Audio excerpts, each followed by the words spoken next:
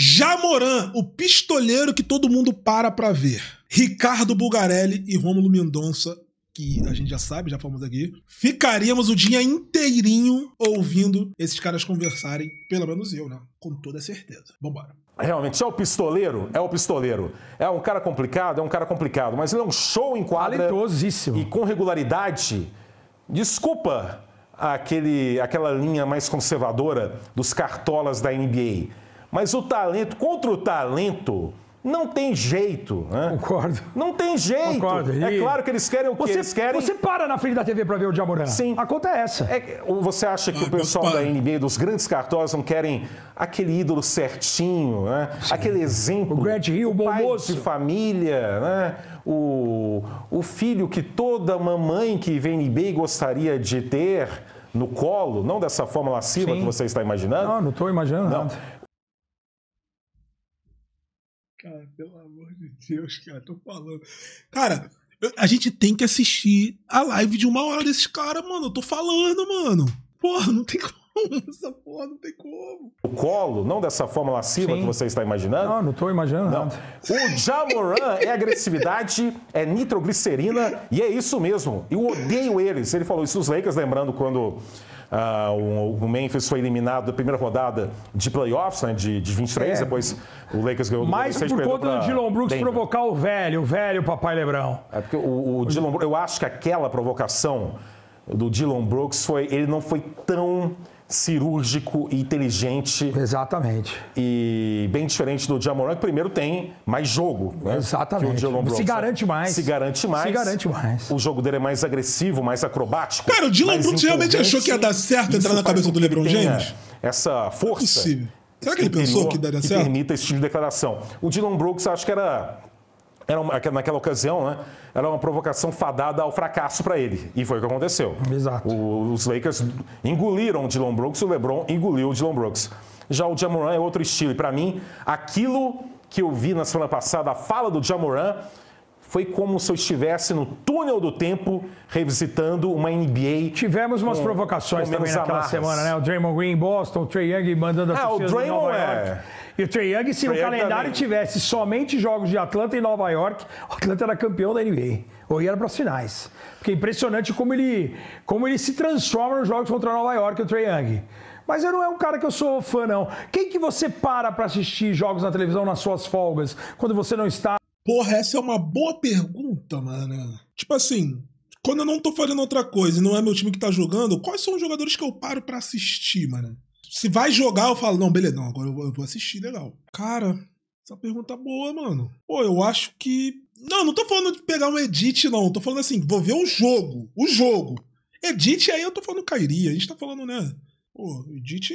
Cara, eu acho que ultimamente eu tenho gostado muito de ver o Jokic jogar. Eu tenho apreciado muito o Jokic. Não que eu não apreciasse antes, eu já apreciava bastante, gostava muito. Mas acho que eu tô parando pra ver o Jokic jogar bastante ultimamente. Gosto, mesmo que não seja ao vivo, eu gosto muito de ver vídeos longos do Jokic. Aquele condensadão. Eu assisto muito condensado, inclusive, já falei, né? É, calma, gordo. Não é leite condensado. O condensado do jogo. Eu assisto muito, né? Que é aquele 10 minuteco ou aquele Todas as Posses do League Pass. Eu assisto, assisto bastante. Assisto de vários jogos, inclusive. Mas o Jokic eu acho que é um nome. Luca também eu gosto muito. Mas o Luca não. Não, acho que o Luca não paro pra assistir jogo ainda. Deveria, mas não. Tá passando um Dallas e. Minnesota. Acho que eu paro pra ver. Um Dallas e Minnesota. Pelos dois times que estão envolvidos. Acho que eu paro. Acho que sim. Acho que o Jamoran é um nome também que tá pagode. Eu assisto esse condensado aí toda rodada. Pô, o condensado é muito bom, mano. Esse 10 minutinhos ali do League Pass é muito bom. O Todas as Posses é bom também, mas aí a gente tá falando de 30 minutos pra, pra cada jogo. envolvido com Copa do Brasil, com transmissões do Amazon Prime Video, de Amorã, Copa do Brasil acabou. Luka Doncic, Copa do Brasil acabou. Nikola Jokic, quem LeBron. mais? Eu gosto LeBron, LeBron. Eu quero ver todo o jogo do Curry. LeBron. Anthony. Edwards. Curry. O LeBron todo o jogo dele. Anthony Edwards. Ah, por que você, por que você está aproveitando os últimos momentos? Vai dar saudade ou porque você Não, eu gosto. é um que- Lebronzete de. Ah, eu sou LeBronzete. Eu sou LeBronzete. Também sou. Quem que não é? Você não vai gostar dos melhores E jogadores? estrela, você é um sim que você não para pra ver? Sabe quem? Russell Westbrook. Não para pra ver. Não, hoje não. Primeiro que tá abaixo Mas eu, a partir do momento que ele tá com o Jokic, eu acabo vendo. Porque eu vejo o jogo Ah, do mas aí não é Jokic. por- O não é Jokic por- é um prazer ver o cara jogar. É, não é porque. É, de algum jogo. O Trae Young, por exemplo, que é um cara que todo mundo fala bastante, eu não paro pra ver jogos do Trae Young. Mas você tem que admitir que ele é provocador. Não, ele é, ele é um cara que eu gostaria de ter no meu time justamente com essa, com essa faceta. De ser um cara falastrão, de ser um E cara. no futuro, porque pra mim, Cara, eu não tô chamando Atlanta Hawks de pequeno, tá? Nunca faria isso. Até porque eu gosto do Atlanta, gosto da cidade de Atlanta também. Mas o Trey Young no New York Knicks da vida, por mais que você ache que o Jalen Brunson seja melhor jogador ou não, tanto faz, na sua opinião. Mas o Trey Young num New York Knicks da vida, porra, tá maluco, porra. Não, tô falando num time que é extremamente midiático. Não, tô falando extremamente midiático. O New York Knicks é porque é um, é um, é um exemplo, tá ligado? Num Miami Heat, qualquer outro time de mídia. Pô, é porque o jogo dele, a gente falou isso ontem, o jogo dele é um jogo muito midiático, mano. Muito de highlight. Ele é muito expressivo, tá ligado? pra mim, o Trae Young ele não vai ficar a carreira toda no Atlanta Hawks. Ah, também não vejo, não. No futuro, ele. Ele vai pros Knicks. Imagina. Imagina o Trae Young campeão nos Knicks. Cara, seria- o- seria o maior perdão da história. Ele e Spike Lee recebendo o Larry O'Brien juntos. Seria histórico.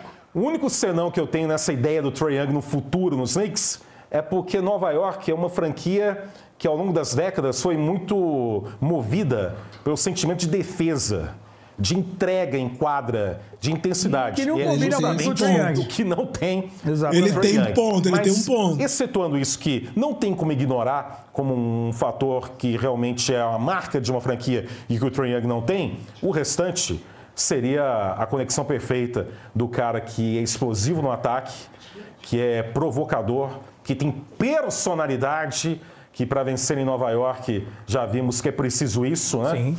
Seria necessário um esquema. É também difícil imaginar o Thibodeau Com o comandando o Trae Young. Essa questão da defesa que ah, impossibilita um pouco essa coisa meio O lúdica. Trae Young de sexto homem ideia. ali no final de carreira ia ser interessante. Não, mas não queria ele de, de Ah, final de não, o carreira. Bran- Jalen Brunson não vai perder a vaga pro. Não, Trae não, Young. mas não quero, não quero que assuma o lugar de ninguém. Você quer ele o quê? Lá só fazendo parte do, do, do elenco. Não, não, não quero isso. De- Alguma alternativa. Que pra mim fica só mesmo nessa ideia meio simplista do cara que provoca e que teria personalidade pra se dar bem, apesar dessa questão defensiva que é inviável. Falamos do Jamoran, o maior dunk da, dunker da, desse momento da NBA. Você colocaria o Jamoran entre os três, assim? É a mais enfática, né? Anthony O Edwards. Anthony Edwards, né? É, Edwards, né? Edwards. Pai da Mitchell.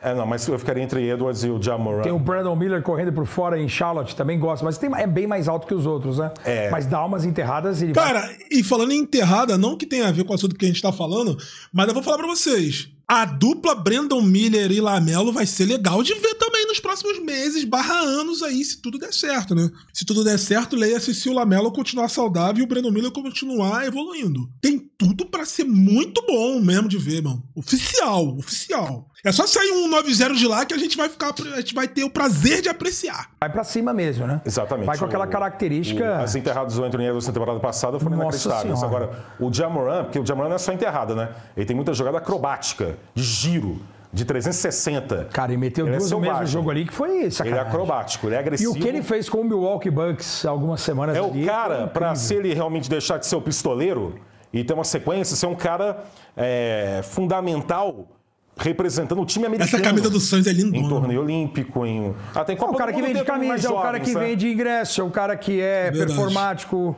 é o cara que. Não estão com essa preocupação natural aí, porque ganhou o ouro, mas o Curry já com 36, o LeBron 39 para 40, o Jamoran nessa linha de pelo menos um comporta- comportamento menos louco fora da quadra. Com certeza, É o cara para com ser o, o nome. Eu acho até que Cara, o Jamoran, a gente já falou isso aqui.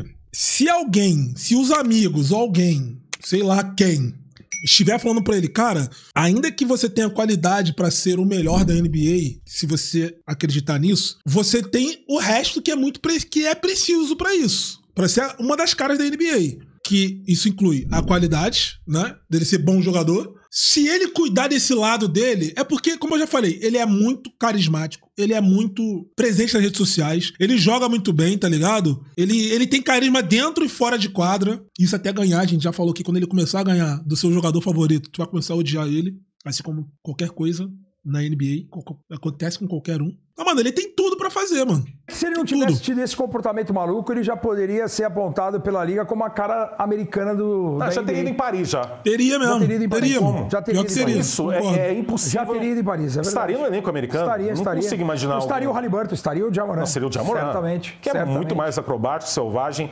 mais personalidade. Não Sem ficaria, dúvida. não seria. Imagina ser o, o. Jamoran bancário do time. Isso existe. Só quando na cabeça do Steve Kerr que né, bancou lá o, o Jason Tatum Não, contra nunca a Seth em duas ocasiões. né? É isso, isso atrasou. Essa loucura do Jamoran só atrasou o Atrasou caminho muito ele. natural de estrela da liga. Muito, muito.